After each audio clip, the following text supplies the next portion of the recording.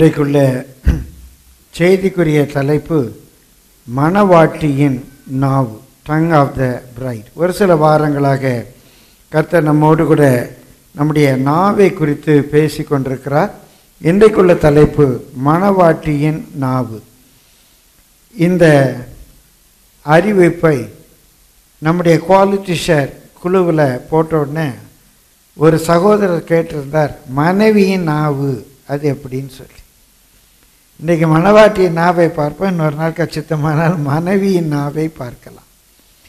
பிரியமானவர்களே மணவாட்டியின் நாவை குறித்து என் மணவாட்டி என்று சொல்லும்போது இயேசு கிறிஸ்துவனுடைய சரீரமாகிய சபை கிறிஸ்தவர்கள் நம்மை. நம்மை அந்த இடத்துல வைத்து நாம் யோசிக்கிறோம் எப்படி நம்முடைய நாவு இருக்க வேண்டும் என்ற ஒரு பாடம். உன்னத பாட்டு நான்காம் அதிகாரம் பதினோராம் வசனத்தில் மணவாளன் இப்படியாக மணவாட்டியினுடைய நாவை பற்றி சொல்லுகிறான் வாசியுங்கள். உன்னத பாட்டு நான்காம் அதிகாரம் பதினோராம் வசனம். என் மணவாளியே வாசியுங்க என் மணவாளியே உன் உதடுகளிலிருந்து தேன் ஒழுகுகிறது. உன் நாவின் கீழ் உன் நாவின் கீழ் தேனும் பாலும் இருக்கிறது. தேனும் பாலும் இருக்கிறது. உன் வஸ்திரங்களின் வாசனை. லீபனோனின் வாசனை கொப்பாய் இருக்கிறது. உன் நாவின் கீழ் தேனும் பாலும் இருக்கிறது. மணவாட்டியினுடைய நாவின் கீழ் தேனும் பாலும் இருக்கிறது. அப்படியானால் மணவாட்டி பேசுகிற வார்த்தைகள் உன் உதடுகளிலிருந்து தேன் ஒழுகுகிறது. உன் நாவின் கீழ் தேனும் பாலும் இருக்கிறது. மணவாட்டியினுடைய வார்த்தைகள் தேனும் பாலுமாக பாலும் தேனுமாக இருக்கிறது. பிரியமான இந்த பாலுக்கும் தேனுக்கும் சில ஒப்பனை ஒப்புமையான குணங்கள் உண்டு. பாலுக்கும் தேனுக்கும் சில ஒப்புமையான குணங்கள் உண்டு. அநேக குணங்கள் அதில் இன்றைக்கு நம்முடைய ஆலோசனைக்காக இந்த பாலுக்கும் தேனுக்கும் இருக்கிற ஒரு ஐந்து குணங்களை குறித்து நான் பேச விரும்புகிறேன். பாலுக்கும் தேனுக்கும் இந்த ஐந்து குணங்கள் உண்டு. அநேக குணங்கள் உண்டு. ஐந்து குணங்களை உங்களுக்கு சுட்டிக்காட்ட விரும்புகிறேன். முதலாவது பாலும் தேனும் நமக்கு நல்ல பலத்தை கொடுக்கக்கூடியது. ஸ்ட்ரென்த் நல்ல பலன் தரக்கூடிய ஊட்டச்சத்து உள்ளவைகள். பாலும் தேனும் ஊட்டச்சத்து உள்ளவைகள். இரண்டாவது வெறும் ஊட்டச்சத்து மாத்திரமல்ல மெடிசன் பாலும் தேனும் ரெண்டுமே மருத்துவ தன்மை மருத்துவ குணம் உள்ளவை. ஔஷதம். நல்ல டானிக் வெறுமனே ஒரு ஊட்டச்சத்து மாத்திரமல்ல ஆரோக்கியத்துக்கு ஏதுவானது. பாலும் ஆரோக்கியத்துக்கு ஏதுவானது தேனும் ஆரோக்கியத்துக்கு ஏதுவானது. மூன்றாவது பாலும் தேனும் ருசியானது. அந்த ருசியிலையும் ஒரு வித்தியாசம் இருக்கிறது. பிரியமானவர்களை கத்துடைய பரிசுத்த நாமத்துக்கு மகிமை உண்டாவதாக இந்த டேஸ்ட்டை பற்றி பின்னால் சொல்லுகிறேன். ஆனால் ரெண்டுமே ரொம்ப டேஸ்டானது மூன்றாவது பாலும் தேனும் எல்லாருக்கும் பொருத்தமானது. சிறு பிள்ளைகளுக்கும் பால் கொடுக்கலாம் தேன் கொடுக்கலாம் வளருகிற பிள்ளைகளுக்கு கொடுக்கலாம் வாலிப பிள்ளைகளுக்கு நல்லது நல்ல விளையாட்டு வீரர்களாக இருக்கிறவர்களுக்கு அவங்களுக்கும் ரொம்ப நல்லது. வயது முதிர்ந்தவர்கள் வயது முதிர்ந்தவர்களுக்கும் இந்த பாலும் தேனும் ரொம்ப நல்லது. எல்லா வயதினருக்கும் இது ஏற்றதாக இருக்கு. சூட்டபிள் ஃபார் ஆல் பீப்புள் எல்லா வயதினருக்கு என்பது மாத்திரமல்ல எல்லா நிலையில் உள்ளவர்களுக்கும் எல்லா நிலையில் உள்ளவர்களுக்கும் இது ஏற்புடையதாக இருக்கிறது. பாலும் தேனும் எல்லா நிலையில் உள்ளவர்களுக்கும் இது ஏற்புடையதாக இருக்கிறது. பிரியமானவர்களே ஐந்தாவது பாலும் தேனும் பதனிடப்பட்டது. ப்ராசஸ்ட் ஃபுட் அது என்ன பதனிடப்பட்டது? பாலு தேனும். அதை நான் பின்னால் உங்களுக்கு விளக்கி சொல்லி முதலாவது இந்த பாலும் தேனும் நமக்கு பலம் தருகிறது. நம்மை பலப்படுத்துகிறது. என்னை பலப்படுத்துகிற கிறிஸ்து. பிரியமான நம்முடைய வார்த்தைகள்.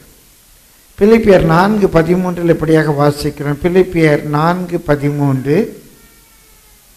என்னை பலப்படுத்துகிற கிறிஸ்துவினாலே எல்லாவற்றையும் செய்ய எனக்கு பலன் உண்டு. ஒரு வார்த்தை இருக்கு. இதே நீங்கள் இன்னொருத்தருக்கு சொல்கிறீங்க உன்னால் முடியும் தம்பி. உன்னை பலப்படுத்துகிற கிறிஸ்துவினாலே உன்னால் எல்லாவற்றையும் செய்ய முடியும். நீங்கள் பல சொல்கிறீங்க நீங்கள் சொல்லுகிற இந்த வார்த்தையே மற்றவர்களுக்கு நல்ல பலனை கொடுக்கும். அப்போ அந்த வார்த்தையில் ஒரு பலன் இருக்கு. கிறிஸ்து உன்னை பலப்படுத்துகிறேன் சோர்ந்து போகாத. உன்னை பலப்படுத்துகிற கிறிஸ்துவினாலே எல்லாவற்றையும் செய்ய உன்னாலே முடியும். ஏசாய நாற்பத்தி ஓராம் அதிகாரம் பத்தாம் வசனம். ஒரு சில வசனங்களை சுட்டி காட்டுக்கு எப்படி நம்முடைய வார்த்தைகள் மற்றவர்களுக்கு பலனை தருகிற வார்த்தைகளாக மற்றவர்களை பலப்படுத்துகிற வார்த்தைகளாக இருக்கின்றன என்பதை நாம் பார்க்கிறோம். ஏசாய நாற்பத்தி ஓராம் அதிகாரம் பத்தாம் வசனத்தில் நாம் வாசிக்கிறோம். நீ பயப்படாதே. நீ பயப்படாத. நான் உன்னுடனே இருக்கிறேன். நான் உன்னுடனே இருக்கிறேன். திகையாதே. திகையாதே. நான் உன் தேவன். நான் உன் தேவன். நான் உன்னை பலப்படுத்தி. நான் உன்னை பலப்படுத்தி. உனக்கு சகாயம் பண்ணுவேன். உனக்கு சகாயம் பண்ணுவேன். என் நீதியின் வலது கரத்தினால் உன்னை தாங்குவேன். இப்போ இது வந்து ஆண்டவரே நமக்கு சொல்ற ஒரு தீர்க்க தரிசன வார்த்தை. இப்போ தீர்க்க தரிசியின் வாயிலிருந்து இந்த வார்த்தை புறப்படுகிறது. இப்போ நாம் கர்த்தருடைய ஊழியக்காரர்களாக கர்த்தருடைய பிள்ளைகளாக ஒருவரை பலப்படுத்தும் பயந்து போயிருக்கிற ஒரு வாழ்க்கையை குறித்து எதிர்காலத்தை குறித்து ஒருத்தர் பயந்து போயிருக்கிறார். பயந்து போயிருக்கிறட்ட நம்ம சொல்கிறோம் நீ பயப்படாத. கர்த்தர் உன் கூட இருக்கிறாரு. கர்த்தரே உன் கூட இருக்கார். நீ ஏன் பயப்படுற? திகையாத. என்ன ஆகுமோ ஏதாகுமோன்னு சொல்லி கலங்கி திகையாத. அவர் உன்னுடைய தேவன். நம்ம ஆராதிக்கிற இந்த தேவன் நம்முடைய சொந்த தேவன். அவர் நம்மை பலப்படுத்தி நமக்கு உதவி செய்வார் உனக்கு உதவி செய்வார். நீ பயப்படாத. அவர் தம்முடைய நீதியின் வலது கரத்தினால் அவருடைய கரத்தில் அநீதியே கிடையாது. அவர் தம்முடைய நீதியின் கரத்தினால் உன்னை தாங்குவார். இது மற்றவர்களை பலப்படுத்தக்கூடிய வார்த்தை. நம்முடைய வார்த்தை மற்றவர்களை அழிக்கக்கூடிய வார்த்தைகள் அல்ல. மற்றவர்களை இடிக்கக்கூடிய வார்த்தைகள் அல்ல. ஒருவேளை சில வேளை கண்டிக்க வேண்டியதாக இருக்கலாம். தவறுகளை சுட்டிக்காட்ட வேண்டியதாக இருக்கலாம். ஒருவேளை இடித்து பேசினாலும் அவளுடைய தவறுகளை அவளுடைய குறைகளை இடித்து அவர்களை கட்டி எழுப்புவதற்காகத்தான் பேசுகிறோம். நம்முடைய நோக்கம் இடித்து போடுவதற்காக அல்ல நம்முடைய நோக்கம் கட்டி எழுப்புவதற்காக. கட்டி எழுப்புவதற்காக சில வேளைகளில் பழைய கட்டடங்களை இடிக்க வேண்டியதாக இருக்கும். பழைய பழக்க வழக்கங்கள் தவறான வழிகள் மூட நம்பிக்கைகள் இவைகளை நாம் இடிக்க வேண்டியதாக இருக்கும். ஆனால் இடிப்பது இடித்து போடுவதற்காக அழித்து போடுவதற்காக இல்லை புதிதாக கட்டி எழுப்புவதற்காக. அப்போ நம்முடைய வார்த்தைகள் ஆங்கிலத்தில் சொன்னால் does it make or mar does it break or build அது அவங்களை இடித்து போடுதா கட்டி எழுப்புதா என்று பார்க்க வேண்டும். பிரியமானவர்களே பாகம் முப்பத்தி ஒன்று ஆறு. நீங்கள் பலன் கொண்டு திடமனதா இருங்கள். அவர்களுக்கு பயப்படவும் திகைக்கவும் வேண்டாம். இப்ப மோசையை கொண்டு ஜனங்களுக்கு கற்று சொல்றார். நீங்கள் திடன் கொண்டு நீங்கள் பலன் கொண்டு திடமனதா இருங்கள். உங்களுக்கு எதிராக இருக்கிற அவர்களுக்கு நீங்க பயப்படவும் வேண்டாம் திகைக்கவும் வேண்டாம். உன் தேவனாகிய கர்த்தர் தாமே உன்னோட கூட வருகிறார். யோசுவாட்ட சொல்றாரு யோசு நீ ஏன் பயப்படுற? உன் தேவனாகிய கர்த்தர் தாமே உன்னோடே வருகிறார். உன் தேவன் உன் கூட வர்றார். அவர் என்று நேற்று மென்று என்று மாறாதவர். யாவே. இருக்கிறவராகவே இருக்கிறவர். அவர் மாறி போகலையே. நீ ஏன் பயப்படுற? பயப்பட வேண்டாம் நீ திகைக்க வேண்டாம். உன் தேவனாகிய கர்த்தர் உன்னோடு கூட இருக்கிறார். அவர் உன்னை விட்டு விலகுவதும் இல்லை. அவர் உன்னை விட்டு விலகுவதும் இல்லை. உன்னை கைவிடுவதும் இல்லை என்று சொன்னான். உன்னை கைவிடுவதும் இல்லை. அப்படி மோசே சொல்றான். நீங்களும் அப்படி சொல்லுங்க. நீ பயப்படாத. கலங்காத. கடவுள் உன் கூட இருக்காரு. இப்போ ஒரு வேளை உங்கள் மகளை திருமணம் செய்து கொடுத்துருப்பீங்க. அந்த இடத்துல சில பிரச்சனைகள் கஷ்டங்கள் இருக்கலாம். வந்து அவங்க அழுவாங்க. அவங்க அழும்போது எரிக்கிற எண்ணெயில் எண்ணெய் ஊற்றுற மாதிரி நீங்களும் ஒருவேளை ஒப்பாரி வைத்து. இந்த ச சாவு வீட்டில் ஒப்பாரி வைக்கிறதே மற்றவங்கள அழ வைக்கிறாங்க ஐயோ இப்படி போயிட்டியே இப்படி செஞ்சிட்டியே. ஐயோ உனக்கு இப்படி கஷ்டமா? அப்படி கஷ்டமா? இப்படி சொல்லி அழுறவங்களோடு கூட சேர்ந்து வேதத்தில் அழ சொல்லியிருக்குன்னு சொல்லி நீங்களும் ஒப்பாரி வைத்து அவங்களுடைய வேதனையை கூட்டுவதற்கு பதிலாக நீ பயப்படாத கலங்காத திகையாத கர்த்தர் உன் கூட இருக்கிறார் கர்த்தர் உன்னை கைவிட மாட்டார் கர்த்தர் உன்னை விட்டு விலக மாட்டார். நீ அந்த சூழ்நிலையை கண்டு பயப்படாத கலங்காத திகையாத சொல்லி பாருங்கள் பிரியமானவர்களே மகள் அழுகிறதை கண்டு தாய் ஒப்பாரி வைக்கிறதுனால அந்த பிரச்சனை தீராது. இன்னும் சொல்ல போனால் அந்த பிரச்சனை கூடும். அப்போ உங்களுடைய வார்த்தைகள் பலவீனமாக இருக்கிறவர்களை பலப்படுத்துகிற வார்த்தைகளாக இருக்க வேண்டுமே ஒழிய இன்னும் அவர்களை பலவீனப்படுத்துகிற வார்த்தைகளாக அமைந்து விடக்கூடாது பிரியமல்ல ஆபகு மூன்றாம் அதிகாரம் பத்தொன்பதாம் வசனத்தில் வாசிக்கிறோம். ஆபகு மூன்றாம் அதிகாரம் பத்தொன்பதாம் வசனம். ஆண்டவராகிய கர்த்தர் என் பலன். அவர் என் கால்களை மான்களைப் போல் ஆக்கி மான் கால்களை போல் ஆக்கி உயரமான ஸ்தலங்களில் என்னை நடக்க பண்ணுவார். என்ன சொல்லப்பான் நடக்கிறது கூட இல்லை. என்னை நிற்க பண்ணுவார். நடந்துடலாம் ஒரு ஒற்றை கயற்றில் கொஞ்சம் பேலன்ஸ் பண்ணி நடந்துடலாம் ஆனால் நடுவில் பேலன்ஸ் பண்ணி நிற்கிறது கஷ்டம். நீங்கள் பேலன்ஸ் பண்ணி சைக்கிள் ஓட்டிடலாம். ஆனால் பேலன்ஸ் பண்ணி சைக்கிளில் நிற்கிறது கஷ்டம். பிரியமானே அவர் நடக்க பண்ணுவார் என்றல்ல மூல மொழியில் நிற்க பண்ணுவார். என்னை பேலன்ஸ் பண்ணி நிற்க பண்ணு தாக்கு பிடிக்க பண்ணுவார். ஆண்டவர் என்னுடைய பலன். அவர் என் கால்களை மான்களின் கால்களைப் போலாக்கி உயரமான ஸ்தலங்களில் என்னை நிற்க பண்ணுவார். எப்படி? ஒரு மலை உச்சியில். மலை உச்சியில். ஒரு வரையாடு. இங்கே ஆக்சுவலாக அது மான் என்று சொல்வதை விட வரையாடு என்பதுதான் பொருத்தம் ஒரு வரையாடு அந்த மலை உச்சியில் நாலு காலையும் ஒன்றா வச்சுட்டு நிற்கிற மாதிரி எனக்கு ஒரு படம் இருந்தது. ரொம்ப நாளாக என்னுடைய லேப்டாப்பில் வால் வால் பிக்சராக அதை தான் வச்சது. சிலர் என் லேப்டாப் பார்த்த பிள்ளைங்க பார்த்துருப்பீங்க ஒரு ஆடு அப்படி பேலன்ஸ் பண்ணிட்டு நிற்கும் என்ன ஆண்டவர் என்னை அப்படி நிற்க பண்ணுவார் என்ன சூழ்நிலையாக இருக்கும் எத்தனையோ நெருக்கங்கள் வந்திருக்கின்றன கஷ்டங்கள் வந்திருக்கின்றன. பிரியமானே நம்முடைய சபை ஆரம்பித்து கொஞ்ச நாட்களில் ஒரு சூழ்நிலையில் ஒரே வாரத்தில் முப்பத்தைந்து குடும்பங்கள் நம்மை விட்டு போனார்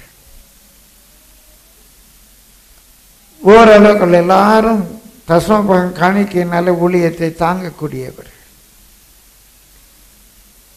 அது மாத்திரமல்ல முப்பத்தைந்து குடும்பம் என்று சொன்னால் ஒரு குடும்பத்துக்கு ரெண்டு மூன்று என்ற கணக்கு வைத்தாலே கிட்டத்தட்ட நூறு பேர் ஒரு வாரத்தில் இந்த சின்ன சபை.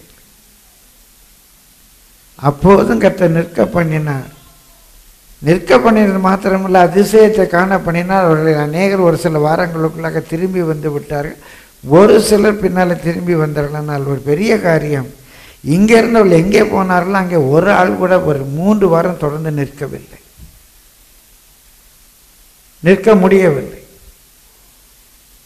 ஆனால் இந்த சூழ்நிலையில் போன ஒருவர் சொன்னார் க்ரீம் ஆஃப் த சர்ச் போயிடுச்சு இனி என்ன செய்வார் பாஸ்டர் அதாவது சபையினுடைய நல்ல அந்த சாறு க்ரீம் அதே போயிடுச்சு அப்போ இங்கே இருந்தவங்கெல்லாம் யாரும் அவங்க பார்வையில் சக்கை. ஆனால் என் தேவன் இந்த சக்கையை கொண்டு நன்மை குறைபடாமல் காத்தார். அந்த க்ரீம்லாம் போன பிறகு அந்த பில்டிங்கே வந்துச்சு. நான் எல்லாரையும் நேசிக்கிறேன். ஆனால் அப்படிப்பட்ட சூழ்நிலையிலையும் ஒரு நன்மை குறைவிடாமல் கருத்தை நடத்தினார். நம்முடைய தேவன் நம்மை உயர் ஸ்தலங்களிலே நிற்க பண்ணுகிறவர். இன்றைக்கி அருமையான பாட்டு பாடணும். பொதுவாக நான் எடுக்கிற செய்தி என்னென்று பாஸ்டர்மாக்கு தெரியாது. அவங்க என்ன பாட்டு சூஸ் பண்ணியிருக்காங்க என்று எனக்கு தெரியாது. நம்மை பலப்படுத்துகிற கிறிஸ்து. நீங்கள் ஒருவரோடு ஒருவர் பேசும்போது கணவன் மனைவியோடு மனைவி கணவனோடு பிள்ளைகள் பெற்றோரோடு பெற்றோர் பிள்ளைகளோடு பேசும்போதும் பலப்படுத்துகிற வார்த்தைகளை பேச கத்தர் கைவிட மாட்டார். கத்தர் கண்டிப்பாக வழியை திறப்பார். கர்த்தர் நம்மை உயர் ஸ்தலங்களில் நிற்க எப்படி ஆகிலும் கர்த்தர் நடத்துவார். உளையான சேற்றிலிருந்து தூக்கி எடுத்து நம்முடைய கால்களை கண்மலையில் நிற்க பண்ணுவார்னு பேசுங்க. விசுவாச வார்த்தைகளை பேசுங்க. பிரியமலை சோர்ந்து போனவர்களுக்கு பலன் கொடுக்கிற தெய்வன் சத்துவம் இல்லாதவர்களுக்கு சத்துவத்தை பெருக பண்ணுகிற தெய்வன் உங்கள் வார்த்தைகள் இடித்து போடக்கூடாது. இடித்து போனாலும் இடித்து போட்டாலும் உடைய மூட நம்பிக்கை தவறுகள் தவறான பழக்க வழக்கங்கள் இடித்து போட வேண்டுமே ஒழிய அவளுடைய ஆவிக்குரிய வாழ்க்கையை இடித்து போடக்கூடாது. நல்லா பலப்படுத்துகிற வார்த்தைகளை பேசுங்கள். பிரியமானவர்களே அதனால தான் சங்கீதக்காரர் சொன்ன நீங்களே உங்களை பலப்படுத்துகிற வார்த்தைகளை பேச வேண்டும். உங்களுக்கே பலப்படுத்துகிற வார்த்தைகளை பேச வேண்டும். ஆமாம் நான் மரணர்களின் பள்ளத்தாக்கில் தான் as I walk through the valley of the shadow of death மரணத்தின் நிழல் என் மேலே இருக்குது எப்போ சாவு வருமோ தெரியாது. சவுல் என்னை துரத்திக்கிட்டு இருக்கிறான். சவுல் தன்னுடைய சேனையோடு கூட ஒரு செத்த ஈ தெல்லுப்பூச்சை துரத்துறது மாதிரி என்ன வந்து சேனையோடு துரத்திக்கிட்டு இருக்கான். செத்த ஈ. மரணத்தின் நிழல் என் மேலே இருக்கு. ஆனாலும் நான் பயப்பட மாட்டேன். பொல்லாப்புக்கு நான் பயப்பட மாட்டேன். ஆண்டவர் என்னோடு கூட இருக்கிறார். அவர் கோலம் அவர் தடியும் என்னை தேற்றும். பேசி பாருங்க. பிரியமல்ல அந்த பயங்கரமான இக்கட்டான சூழ்நிலையில கத்தருடைய பலன் உங்களை ஆட்கொள்ள ஆரம்பிக்கும். பலவீனத்தில் கத்தருடைய பலன் நம்மை தாங்க. அதனால் முதலாவது நமக்குள்ள வார்த்தைகள். ஒருவரை கட்டி எழுப்புகிற வார்த்தைகளாக இருக்க வேண்டுமே வெளியே இடித்து போடுகிற வார்த்தைகளாக இருக்கும் நம்ம வார்த்தைகளை கேட்டு மற்றவர்கள் பலன் அடைய வேண்டுமே ஒழிய நம்முடைய வார்த்தைகளை கேட்டு இருக்கிற பலனும் போய்விடக்கூடாது. அப்போ இந்த தேனும் பாலும் என்று சொன்னார். இந்த தேனும் பாலும் மற்றவர்களை பலப்படுத்துகிறதை காட்டுகிறது. தேனும் பாலும் மற்றவர்களை பலப்படுத்துகிறதை காட்டுகிறது. கத்தருடைய பரிசுத்த நாமத்துக்கு மகிமை உண்டாவது ரெண்டாவது தேனும் பாலும் மருத்துவ தன்மை உடையது என்று பார்த்தோம். நாம் பேசுகிற வார்த்தைகளில் மருத்துவ தன்மை இருக்க வேண்டும். மெடிசனல் ஒரு ஹீலிங் டச் வெறுமனே பலன் கொடுக்கிற வார்த்தைகள் மாத்திரமல்ல. அவங்களுடைய ஆவி ஆத்மா சரீரத்தில் அந்த பிரச்சனைக்கு ஒரு ஹீலிங் உண்டாகக்கூடிய வார்த்தைகளை நான் பேச வேண்டும். நம்ம வாசிக்கிற நீதிமொழிகள் நான்காம் அதிகாரம் இருபதாவது வசனத்திலிருந்து வாசியுங்கள். என் மகனே என் மகனே என் வார்த்தைகளை கவனி. என் வார்த்தைகளை கவனி. என் வசனங்களுக்கு உன் செவியை சாய். என் வசனங்களுக்கு உன் செவியை சா- இப்ப நான் வந்து ஜேம்ஸுக்கு ஒரு ஆலோசனை கொடுக்கணும்னு விரும்புகிறேன் இது அவனுக்கு பிஸ்னஸ்ல இதில் ஒரு சின்ன பிரச்சனை. உடனே நான் ஜேம்ஸை கூட என்ன சொன்ன தம்பி இங்கே வாப்பா. என் பிள்ளை மாதிரி. அவர் உண்மையாகவே எங்களுக்கு பிள்ளை மாதிரி தான். எங்களுடைய பிள்ளைகளில் உறவுகளை தான் நாங்கள் அவர் நினைக்கிறோம். எல்லாரையும் அப்படி தான் நினைக்கிறோம். இப்போ ஒரு அப்படி சொல்லி சில ஒருத்தர் சண்டைக்கு வந்து அழுதுட்டார். என்ன நீங்கள் ஜேம்ஸ் ஜானபத்திரம் சொல்கிறீங்க நாங்கள்லாம் உங்கள் பிள்ளை இல்லையான்னு தேம்பி தேம்பி அழுதார். அப்போ நல்ல கம்ப்ளைண்ட் வந்துச்சு. அதனால் எல்லாரும் எங்கள் பிள்ளைகள் தான். சரி. பிரியமான இப்போ நான் ஜேம்ஸை கூட என்ன சொல்ல தம்பி இங்கே வா. என் வார்த்தைகளை கவனி. நான் சொல்கிறத நல்லா கவனி. என் வசனத்துக்கு நான் சொல்கிற அந்த ஆலோசனைக்கு நீ செவி கொடு. நான் சொல்கிற ஆலோசனைக்கு செவி கொடு. அவைகளை உன் கண்களை விட்டு பிரியாதிருப்பதாக. அந்த நான் சொல்கிற ஆலோசனை எப்பவும் உன் மைண்டை விட்டு விளையக்கூடாது கண்களை விட்டு பிரியாது இருப்பதாக அப்படின்னு சொன்னால் உன் மைண்டில் அந்த ஆலோசனை எப்பவும் ரெடியாக இருக்கும். அன்னைக்கு அங்கிள் இப்படி சொன்னாங்களே பாஸ்ட் அங்கிள் இப்படி சொன்னாங்களே என்னை கூட்டு இப்படி பேசுனாங்களே. அது ஒரு பிஸ்னஸ் காரியமாக இருக்கலாம் ஆவிக்குரிய காரியமாக இருக்கலாம் ஊழியமாக இருக்கலாம் குடும்பமாக இருக்கலாம். என்ன சொல்கிறேன் என் மகனே என் வார்த்தைகளுக்கு செவி கொடு வார்த்தைகளை கவனி கன்சிடர் பண்ணு. அங்கிள் சொல்கிறேன் பாஸ்டர் அங்கிள் சொல்கிறேன் கொஞ்சம் கன்சிடர் பண்ணு. என்னுடைய வார்த்தைகளுக்கு என்னுடைய ஆலோசனைக்கு கொஞ்சம் செவி கொடு. அவைகள் உன் கண்களை விட்டு பிரியாதிருப்பதாக அவைகளை உன் இருதயத்துக்குள்ளே காத்துக்கொள்வோம் சென்டர் ஆஃப் ஹார்ட் உன்னுடைய emotion seat of emotion seat of affection அதில் வச்சுக்கப்பா. உன்னுடைய ஒரு உணர்ச்சிகள் உணர்வுகள் பிறக்கிற அந்த இடம். இது நல்லா கன்சிடர் பண்ணு. அதை அவன் ஹார்ட்டில் வச்சுக்கோ. அப்படின்னு வைத்துக்கொள்வாயானால் அவைகளை கண்டுபிடிக்கிறவர்களுக்கு அவைகள் ஜீவனும் அவர்கள் உடலுக்கெல்லாம் ஆரோக்கியமுமாம். தம்பி என் வார்த்தையை நீ கேட்டனா என் வார்த்தை தான்டா உனக்கு லைஃப் அதான் என் வார்த்தையை கேளு. என் வார்த்தை தான் உனக்கு லைஃப் ஏன் நான் யார் வார்த்தையை சொல்கிறேன்னா தேவ வார்த்தையை சொல்கிறேன் பைபிள்ல இருந்து ஆலோசனை கொடுக்குறேன். என் வார்த்தையை கேளு அதான் உனக்கு லைஃபு அது உன் உடலுக்கெல்லாம் ஆரோக்கியம். வெறும் ஹீலிங் மாத்திரமில்லை உனக்கு அதான்டா ஹெல்த் ஏன்னா நம்ம மனம் நல்லா இருந்துச்சுன்னா நம்ம ஹெல்த்தே நல்லா வந்துடும் இன்னைக்கு நிறைய பேருக்கு ஜாயிண்ட் பெயின் குதிங்கால் வலிக்குது. உள்ளங்கால் வலிக்குது. ஏன் உள்ளங்கால் வலிக்குது? ஆவியின் முறிவுனால எலும்புகள் வளர்ந்து போகும். ஏசப்பா இயேசுவே இப்படி ஆவியில் முறிந்து முறிந்து முறிந்து இன்றைக்கி உங்களுக்கு உடம்புல உள்ள எல்லா வியாதியும் வந்திருக்கு. அடிக்கடி கோவப்பட்டு சாப்பிடாம இருந்தீங்கன்னா பெப்டிக் அல்சர் வரும் அந்த பெப்டிக் அல்சர் ஒரு பின்னால் கேன்சராக கூட மாறும். குடல் புண் வரும். டென்ஷன் இப்போ நான் என்ன சொல்கிறேன் இப்போ என் வார்த்தையை கேடு என் வார்த்தை என்ன வார்த்தை? கடவுளுடைய வார்த்தை. இதை கவனி. என் வார்த்தையை கவனிச்சேன்னா அது உன் உடம்புக்கெல்லாம் ஆரோக்கியம். உனக்கு அதான்ப்பா லைஃப் அப்படின்னு சொல்கிறேன் இப்போ நீங்கள் ஒருத்தருக்கு ஆலோசனை சொல்கிறீங்க என்ன சொல்லணும்? இம்மா என் வார்த்தையை கேளு. நான் சொல்கிறபடி கேளு. இதை கொஞ்சம் கன்சிடர் பண்ணு. என் வார்த்தையை நீ கன்சிடர் பண்ணால் அது உனக்கு லைஃபு உன் வாழ்க்கைக்கு அது ரொம்ப பிரயோஜனமாக இருக்கும். உன் உடம்புக்கு அது ஆரோக்கியமாக இருக்கு நான் சொல்கிறேன் கேளு. பிரியமானவர்களை கத்தருடைய பரிசுத்த நாமத்துக்கு மகிமை உண்டாவது நீங்க அப்ப சொல்றீங்க நீ என்ன சொல்லணும்னா பா- சொல்றேன் கேளு. யா எப்போது அவனுடைய உடம்புக்கு ஆரோக்கியமா இருக்கும்? நான் சொல்ற வார்த்தை கத்தருடைய வார்த்தையாய் கத்தருடைய ஆலோசனையா இருக்குமானால் அது கண்டிப்பாக அவனுடைய வாழ்க்கைக்கு ஆசீர்வாதமா இருக்கு அப்ப என் வாயிலிருந்து வர்ற வார்த்தை என்ன? அவனை உருவாக்குகிற வார்த்தையா அவனை அழிக்கிற வார்த்தையா? நீங்க ஒருவரோடு பேசுறீங்க. நீங்க பேசும்போது தைரியமா சொல்ல முடியுமா? சிஸ்டர் என் வார்த்தையை கேளு. இதை கன்சிடர் பண்ணுவோம் உன் குடும்பம் நல்லா இருக்கும். நான் சொல்கிறத கன்சிடர் பண்ணி தான் கடவுளுடைய வார்த்தை. இதான் உனக்கு லைஃப் இன்றைக்கு சிலருடைய வார்த்தைகளை நாம் கேட்டால் நம்ம குடும்பமே நாசமாக போயிடும். கொஞ்ச நேரம் பேசுனாங்கன்னா அம்மாவையும் மகளையும் பிரிச்சிருவாங்க. அப்படியா? உங்கள் மாமியார் இப்படி சொன்னாங்களா? அதில் ஒரு வார்த்தை ஒரு பிட்டு போடுவாங்க. உன் குடும்பத்தில் நான் பிரச்சனையை உண்டாக்க விரும்பலை. உன் குடும்பத்தில் நான் பிரச்சனையை உண்டாக்க விரும்பலைன்னு ஒரு பிசாசு சொல்லி ஆரம்பிச்சாலே அந்த பிசாசு உன் குடும்பத்தில் பிரச்சனையை உண்டாக்க தான் பேசுதுன்னு அர்த்தம். உங்களுக்குள்ள நான் தகராறு உண்டாக்க வரல. நீ ஞானமாக இருந்துக்கோ. ஏதேன் தோட்டத்தில் பேசின அதே பிசாசு அன்றைக்கு பாம்பின் உருவில் வந்த பிசாசு இன்னைக்கு யாரோ இன்னொரு விசுவாசி உருவில் ஃப்ரெண்டு உருவில் கொல்லைக்கு உருவில் வந்து பேசும் ஜாக்கிரதையாக இருக்கு ஆமா. இந்த ஆமான்னு போட்டாலே அது பிசாசுன்னு அர்த்தம். ஆமா. சொன்னாரா சாப்பிட வேண்டாம்னு? அக்கா கிளவி கிளவினா வயது முதிர்ந்தவளை சொல்லுறது கிளவிகள் பேச்சு. அரை மணி நேரம் நின்று நின்று பேசுவாங்க என்ன பேசுனேன்னு கேளுங்க ஒன்றும் பேசலம்மா. இதை போல பைத்தியங்கள் உண்டா? எவ்வளோ பயங்கரமான பைத்தியம் பாருங்க. ஆஃப் அன் ஹவர் பேசியிருப்பாங்க.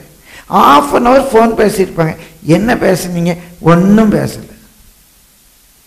பைத்தியமா? உண்மையாக பைத்தியம்தான். ஆஃப் அன் ஹவர் என்ன பேசணும்னு தெரியாமலே பேசுனேன் இதை விட பைத்தியம் உலகத்தில் உண்டா? பிரியமானவர்களை கூடுமானால் நீங்கள் ஒரு சைக்கா ஒரு சைக்காட்ரிஸ்ட் ஒரு உல நோயாளி உல உல உல நோய் மருத்துவரை போய் பார்ப்பது நல்லது. அரை மணி நேரம் பேசினேன் சும்மா பேசினேன். ஒன்றும் பேசலை. அப்படின்னா உளநோய் மருத்துவரை போய் பார்ப்பது நல்லது. உங்களை குற்றப்படுத்தல உங்களுக்கு ஏதோ ஒரு நோய் இருக்கு என்று சுட்டி காட்டுகிறேன் பிரியமானவர்களே நம்ம பேசுகிற வார்த்தைகள் மற்றவர்களுக்கு லைஃபாக இருக்கணும். மற்றவங்க வாழ்க்கையை கெடுத்துடக்கூடாது கத்துடைய பரிசுத்த நாமத்துக்கு மகிமை நம்ம எல்லாருக்கும் தெரியும். ஏழு இருபது வாசிங்க. Psalm hundred and seven verse twenty நூற்றி ஏழு இருபது. மிக முக்கியமான ஒரு வசனம். அவர் தமது வசனத்தை அனுப்பி அவர்களை குணமாக்கி அவர்களை அழிவுக்கு தப்புவிக்கிறார். அவர் தேவன் தம்முடைய வசனத்தை அனுப்பி அவர்களை குணமாக்கி. இப்போ ஏதோ ஒரு வேதனையோட தம்பி செல்வம் இருக்கிறேன் இப்போ நான் என்னுடைய வார்த்தையினால என்னுடைய வார்த்தையை அனுப்பி செல்வத்தை குணப்படுத்தணும். He sent his word and heal this people இப்போ நான் என்ன சொல்கிறேன் என் வா நம் நீங்கள் உங்கள் வார்த்தையை அனுப்பி நீங்கள் பேசுகிற வார்த்தை உங்களுடைய வார்த்தை அவர்களை குணப்படுத்த வேண்டும். இயேசு தம்முடைய வார்த்தையை அனுப்பி தேவன் தம்முடைய வார்த்தையை அனுப்பி அவர்களை குணப்படு குணமாக்கி அவர்களை அழிவுக்கு தப்புவிக்கிறார். நீங்க பேசுகிற வார்த்தைகள் மற்றவர்களை அழிவுக்கு தப்புவிக்க வேண்டும். சில வேலைகளில் ஆங்கிலத்தில் சொல்லுவார்கள் the remedy is worse than the malady சிலர் ஆலோசனை சொல்கிறோம் ஆலோசனை சொல்கிறோம் ஆலோசனை சொல்கிறோம் என்று சொல்லியே மற்றவர்களை கெடுத்து குட்டிச்சுவராக்கி விடுவார்கள். ஆலோசனை சொல்கிறோம் சொல்கிறோம்னு சொல்லி அவங்க ஆலோசனையில் கெட்டு போன நான் சொல்கிறது கொஞ்சம் கேளு. அப்படின்னு அவங்க ஆலோசனை சொல்லி சொல்லி கெடுத்து உங்களுடைய வார்த்தைகள் மற்றவர்களை கெடுக்கக்கூடாது. உங்களுடைய வார்த்தைகள் மற்றவர்களை உருவாக்க வேண்டும். பல முறை சொல்கிறேன் நீங்கள் விசுவாசிகளை விசாரிக்கும் போது அவங்களுக்கு சங்கோடத்தை சங்கடத்தை உருவாக்கக்கூடிய காரியங்களை விசாரிக்காதீங்கள் என்று போன வாரம் கூட ஒரு விசுவாசி வந்து வருத்தப்பட்டார். பிரியமானவர்களே அவருடைய தனிப்பட்ட காரியத்தை குறித்து ஒருவர் போய் பேசுகிறார் விசாரிக்கிறார். அவருடைய வீட்டில் ஆயிரம் பிரச்சனை. ஆனால் இந்த பிரபோகாரி தன்னுடைய வீட்டு பிரச்சனைகளை தீர்க்காமல் இன்னொருத்தர் போய் அவனுக்கு என்ன பிரச்சனை என்று கேட்கிறார். பிரச்சனை சொல்ல முடியாது. அவர் இப்போ சபைக்கு வர சங்கோடப்படுகிறார். சபைக்கு வர சங்கடப்படுகிறார். அப்போ உங்களுக்கு என்ன பேசணும்? எப்படி ஆலோசனை சொல்ல வேண்டும் என்று தெரியாமலேயே உங்களுடைய ஆலோசனையினால சபைக்கு வருகிறவர்களை கெடுக்கிற ஒரு பிசாசினுடைய வேலையை மாத்திரம் நல்லா செய்கிறீங்க. யாரையும் நான் குற்றப்படுத்தவில்லை. பேதர்களை பார்த்து அப்பால் இப்போ சாத்தேனே என்று சொன்னால் இன்றைக்கு சபைக்கு வருகிற விசுவாசிகளை கெடுக்கக்கூடிய பிசாசின் வேலையை சிலர் மூலமாக பிசாசு செய்கிறோம் கடந்த வாரத்தில் ஒரு சின்ன துணுக்கு வாசித்தேன். ஒரு பையன் உட்காந்து சாக்லேட் சாப்பிட்டுட்டு இருந்தான். அந்த பையன் சாக்லேட் சாப்பிட்டும் போது அங்கே வந்து ஒரு பெரியவர் சொன்னார் தம்பி சாக்லேட்லாம் ரொம்ப சாப்பிடாத உடம்புக்கு நல்லது இல்லைப்பா. சாக்லேட்லாம் ரொம்ப சாப்பிடாதன்னார். உடனே அந்த குட்டி பையன் சொன்னால் எங்கள் தாத்தா நூற்றி முப்பத்தி ரெண்டு வருஷம் உயிரோடு இருந்தார். எங்கள் தாத்தா நூற்றி முப்பத்தி ரெண்டு வருஷம் உயிரோடு இருந்தாருன்னா ஒன்று இந்த பெரியவர் அப்படியா உங்கள் தாத்தா சாக்லேட் சாப்பிடுவாரா? என்ன இவன் சாக்லேட் சாப்பிடாதங்கிறாரு. அப்போ அந்த குட்டி பையன் சொல்கிறேன் எங்கள் தாத்தா நூற்றி முப்பத்தி ரெண்டு வருஷம் உயிரோடு இருந்தாருன்னு இந்த பெரியவர் கேட்டார். அப்படியா உங்கள் தாத்தா சாக்லேட் சாப்பிடுவாரான்னார். எங்கள் தாத்தா சாக்லேட் சாப்பிட மாட்டார் மற்றவங்க விஷயத்தில் தலையிட மாட்டார். எங்கள் தாத்தா மற்றவங்க விஷயத்தில் மூக்க நுழைக்க மாட்டார். அவர் நூற்றி முப்பத்தி ரெண்டு வருஷம் இருந்தார். நீ போய் மற்றவங்க விஷயத்தில் மூக்க நுழைக்காதடா அப்படின்னு சின்ன பையன் அந்த பெரியவருக்கு புத்தி சொன்னான். பிரியமானவர்களே தயவு செய்து மற்றவங்க விஷயத்தில் மூக்க நுழைக்காதீங்க. நீங்கள் உங்கள் வார்த்தைகளை அனுப்பி அவர்களை குணப்படுத்த வேண்டும். அவங்கள அழிவுக்கு தப்புவிக்க வேண்டும். இன்றைக்கு ஆங்கில ஆராதனை சொன்ன ஒரு சின்ன சம்பவத்தை நான் சொல்லுகிறேன் அருமையான வாலிப பிள்ளை. இன்றைக்கு ஆலிங்கல் ஆராதனையில் it is no secret what God can அந்த பாடலை பாடினோம். அதில் ஒரு வேளை ஒரு சிலர் நீங்கள் you made slipped and fell கால் தவிர விழுந்திருக்கலாம் அந்த பாட்டில் வரும். நீங்கள் கால் தவிர விழுந்திருக்கலாம் ஆனாலும் ஆண்டவர் உங்களை கைவிட மாட்டார். இப்படி கால் தவறி விழுந்தவர்கள் எல்லாம் இருகரம் நீட்டி அரவணைத்த தேவன் உங்களையும் அரவணைப்பார். நீங்கள் மாத்திரம் அந்த மனம் திரும்புகிற கரோஜியோட அட்ட வந்தால் போதுங்கிற ஒரு அருமையான ஒரு பாடல். It's no secret what God can do what he's done for others you will do for you ஒருவேளை மேட்ட ஸ்லிப்ட் அண்ட் ஃபெல் அந்த பாடல் இன்றைக்கு ஆராதனையில் நாங்கள் பாடினோம். அதை ஒட்டியுள்ள இந்த கருத்தையும் சொன்னோம்.